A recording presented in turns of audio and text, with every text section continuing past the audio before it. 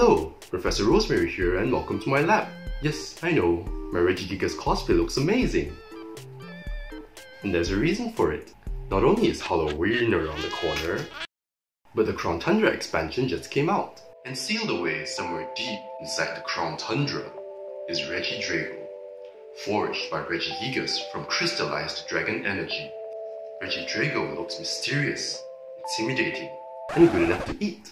I don't know about you, but when I first saw Regidrago, it really looked like I could eat it. Which was what inspired today's video. Regidrago's skin, hide, surface, its color reminds me a lot of dragon fruits, specifically the red fleshed kind. And it's already in the name, dragon fruit. So in celebration of the Crown Tundra coming out, I'm gonna be Regigigas for a day and make my own Regidrago. By the way, this is not proper labware. With that said, let's get making. Here's what you'll need. This takes at least 2 days of preparation, so do make it ahead of time before you need to serve it. Let's prepare the modeling chocolate first. Melt your dark chocolate over some hot water. Then mix in around 2 tablespoons of the chocolate into your corn syrup. This step helps to ensure that you get a smooth mixture. Pour in the mixture and mix until just combined. You will feel quite a bit of resistance and grittiness, and its texture will resemble soft serve ice cream. When it reaches this stage, stop mixing, stop touching it. No, my spatula is coming for your booty. Any further mixing will cause the cocoa butter to separate and ruin your modeling chocolate. Set aside overnight for your modeling chocolate to set. Next, for the body, source out and collect dragon energy from the wild or buy from a shop that carries them. Cut and peel your dragon fruit.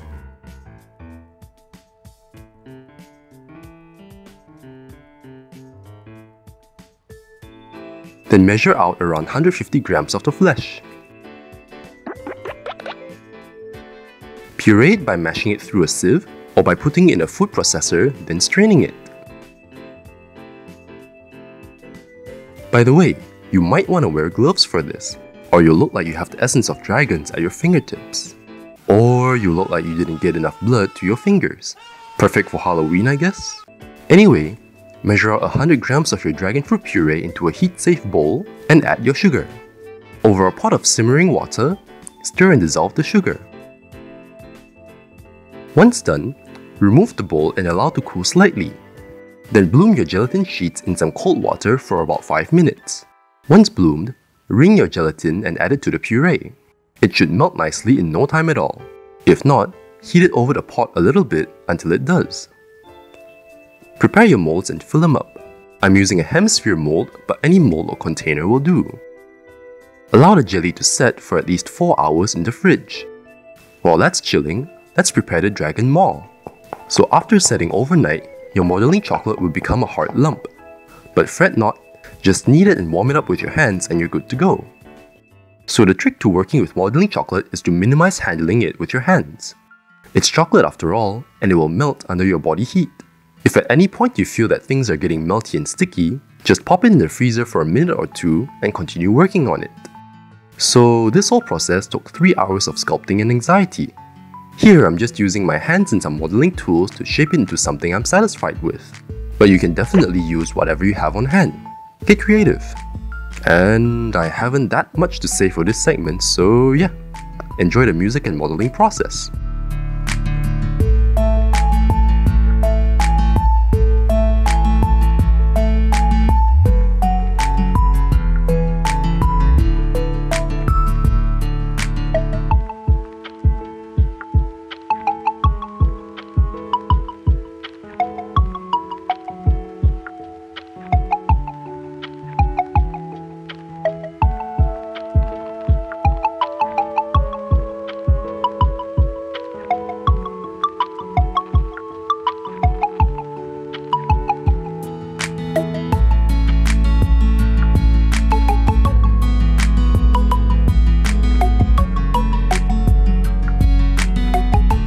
Once you're happy with your chocolate pieces, keep them refrigerated until needed. At this point, your jellies would have at least partially set. Gingerly pry the edges of the mold away and free your jellies. Make cavities using a melon baller, then return the jellies to the fridge. Oh, and save your little balls. We'll need them later. With the cavities made, let's fill them with the chocolate mousse core. Bloom your gelatin sheets in some cold water for about 5 minutes. While waiting, melt your chocolates over some hot water or a microwave and allow to cool slightly. Take a dash of the cream, wring and add your bloomed gelatin, then warm the cream until the gelatin dissolves. Once so, combine it with your melted chocolate. Whip the remaining cream to a stiff peak and fold it into the chocolate.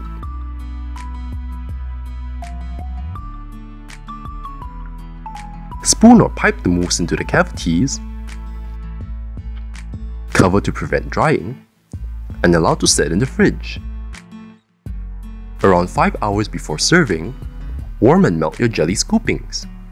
Apply the molten jelly to glue the halves together Refrigerate your sphere for at least 4 hours for the jelly glue to set. Also, we'll need some blue ganache for decoration. Melt your white chocolate as before, then stir in your cream, color it to the color of Regidrago's eyes, then store and allow it to set in the fridge. Right before assembly, grab your blue ganache and lightly whip it to give it some fluff. Now for the moment you've all been waiting for, the assembly. First, I'm gonna be fancy with some dragon fruit puree. Then I'm setting the lower maw and the jelly sphere and making the eyes with the blue ganache. I'm also setting some toothpicks because the jelly can't support the weight of the upper maw. I'm then garnishing with some dragon fruit spheres, courtesy of my melon baller, and the pièce de résistance, the upper maw. And with that, we're done.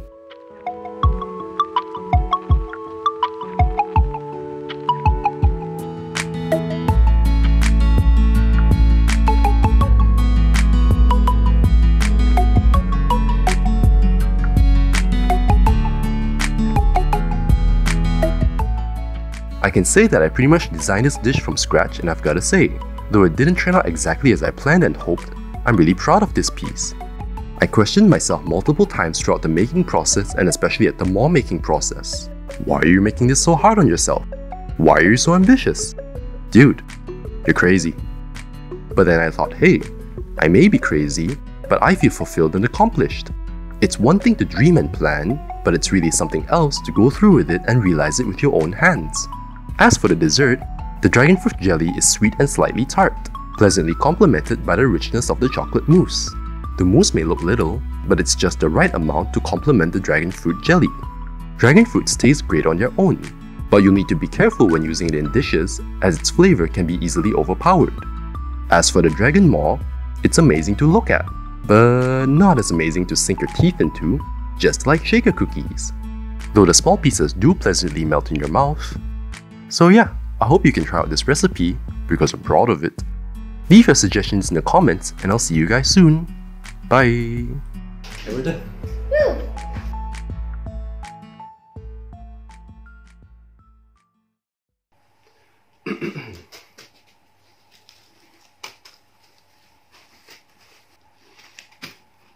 Only it's Halloween around the corner.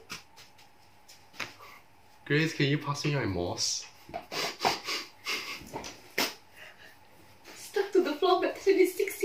Oh, gross. But the Crown Tundra expansion just came out. Oh no, my red dot. My red dot. Where's my red dot? Leg. But the Crown Tundra expansion just came out. Where did my blue dot go this time? It really looked like I can eat it. That fed up. it's okay.